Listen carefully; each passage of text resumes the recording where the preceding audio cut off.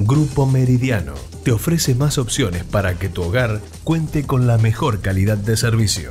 Grupo Meridiano te conecta. ¿Cuáles son los próximos pasos a seguir, senador? Una vez que se abrieron estos sobres, ¿cómo sigue? Bueno, una vez analizado la parte comercial y técnica de las nueve propuestas, eh, se comenzará la apertura de los sobres de que, que se refiere a la oferta económica y allí ya otro, un proceso que, bueno, son las dos licitaciones, tanto para materiales como para mano de obra, y ya el proceso de adjudicación y el inicio de la obra, ¿no? Entonces, en ese aspecto me parece que lo que ha dicho Ezequiel, lo que ha dicho Omar Perotti, es, es realmente importante ir cumpliendo los pasos.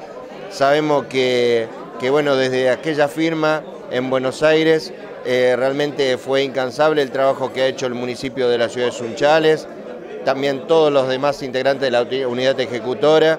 Y bueno, en ese aspecto uno trata de apuntalar, de incentivar, de gestionar, de tratar que estos tiempos de tantos años perdidos lo podamos recuperar y lo podamos compensar. ¿Hablamos de cuántos kilómetros aproximadamente? Y son 120 kilómetros de, de tendido que van desde lo que es la ruta 11 de recreo hasta la localidad hoy de Tacural que es donde estaría terminándose este gasoducto industrial que ha tenido este proceso de expansión, que inicialmente era para Esperanza Rafael Asunchales, que tuvimos la suerte de incorporar eh, nueve localidades entre departamentos Las Colonias y departamentos castellanos, y que abre un proceso de expansión en el futuro realmente muy importante. Yo lo que le quiero dejar el mensaje a la gente de Aldao, la gente de Humberto, la gente de, Susana, de Vila, que, bueno, esta es una primera etapa que tenemos que ser muy agradecidos y que tenemos que tirar todos para adelante, tenemos que confiar, no tratar de poner palos en la rueda porque este es un proyecto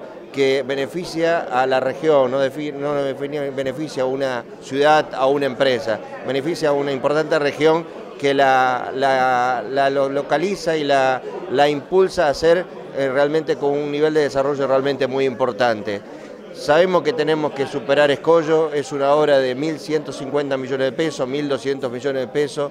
Tal vez las los cifras ah, eh, asustan, pero yo creo que tenemos la capacidad suficiente entre todos los municipios, entre todas las comunas, de poder hacer realidad este proyecto.